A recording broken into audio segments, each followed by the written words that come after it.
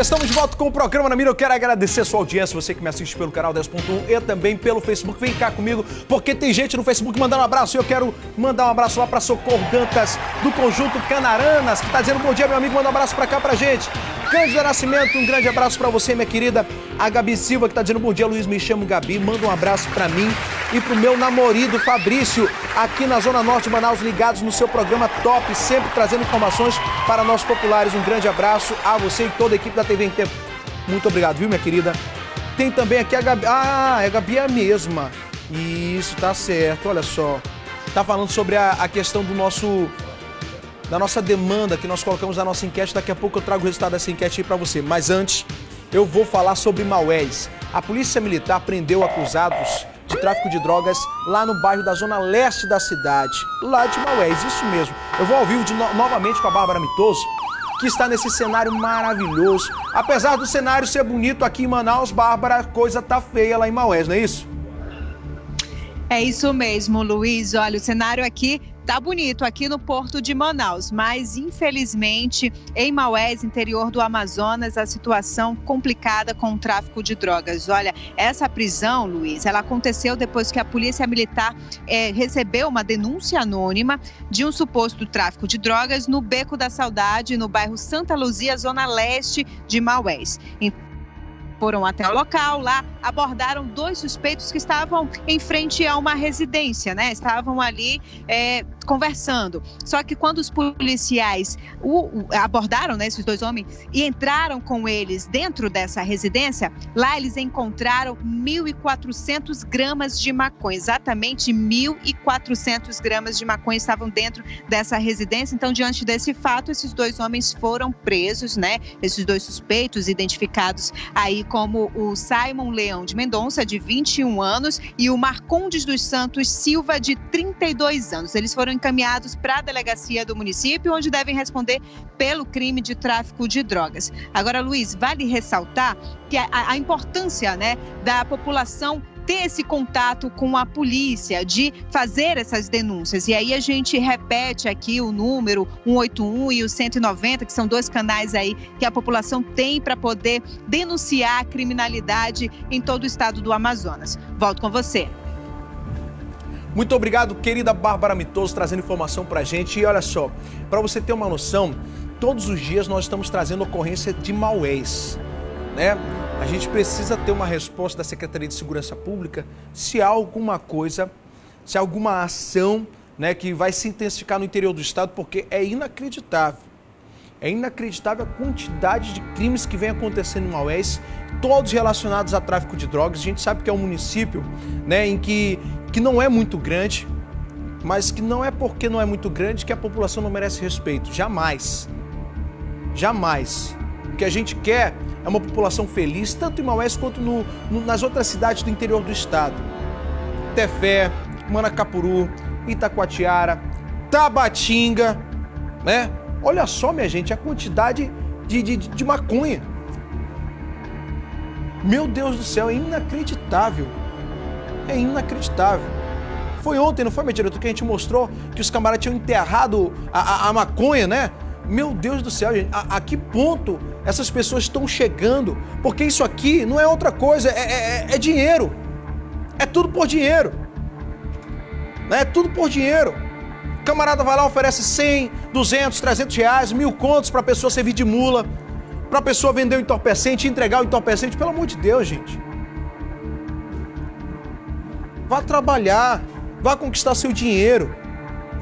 É de uma forma lenta, mas é de uma forma que não vai colocar sua vida em perigo, a vida da sua família em perigo. Ô, oh, gente, pelo amor de Deus, é todo dia isso a gente mostrando a questão em Maués. Que situação, vem pra cá comigo e olha só, não é só em Maués não. Em Itacoatiara, em Itacoatiara, um homem foi morto a tiros em frente da casa dele. Quem traz os detalhes é Marcelo Bezerra, na tela do Namira. Isso mesmo, o crime foi por volta de 8h30 na manhã de ontem, 25 de dezembro. A vítima foi identificada como Raison Santos Silva, de 31 anos. O homem foi atingido com tiros de arma de fogo, provavelmente calibre 38. O fato aconteceu na rua Armindo Alzê, em frente ao BS Santo Antônio, bem em frente à casa da vítima que morreu no local. Segundo a polícia, o autor do crime se chama Gabriel. Ele teria esfaqueado por Railson há dois anos atrás e agora resolveu se vingar. O suspeito mora na mesma rua da vítima. A Polícia Civil de Itacoatiara vai investigar o caso. Volto com você aí no estúdio. Muito obrigado, Marcelo Bezerra. Agora, olha só, uma questão mal resolvida no passado tirou a vida do camarada. Meu Deus do céu, não tá valendo mais nada a vida hoje. Não tá valendo mais nada. Vem pra cá comigo. Em Parintins, após denúncia, a Polícia Militar prendeu quatro homens e acreditem, um menor de idade. Na manhã de Natal, né, o pessoal está se preparando para comercializar carne bovina e suína. O fato aconteceu no bairro da União, periferia da cidade. Aproveitando uma pausa da chuva, Rony Belchior trouxe os detalhes aqui para a tela do Lamira. Bom dia, Luiz. Bom dia a todos que acompanham o programa na mira desta quinta-feira, pós-feriado de Natal. Feliz Natal a todos ainda, tá bom? Olha aqui, Parintins, é muita chuva, pelo menos nessa quinta-feira. 27 graus nesse momento aqui na cidade de Parintins.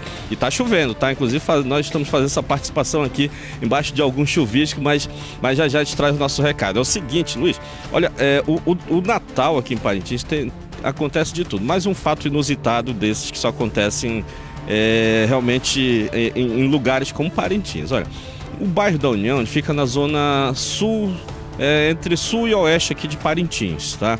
E aí aconteceu que no dia de ontem, dia 25, logo no início da manhã, quatro homens e mais um, um adolescente, um jovem adolescente, foram detidos, né, foram presos pela polícia militar aqui da cidade. Eu estou falando do Murilo Souza de Souza, de 19 anos, o Ronaldo Pinto Belém, de 23, o Juliano Vasconcelos Souza, de 21 anos, o Aderlan Campos Pimenta, de 26 e o menor de 17 anos. Eles simplesmente foram presos é, após uma denúncia anônima de que eles estariam transportando ca carne clandestina, exatamente carne clandestina, é, mais precisamente dois suínos, né, dois porcos e além de aproximadamente pouco mais de 200 quilos de carne bovina, tá?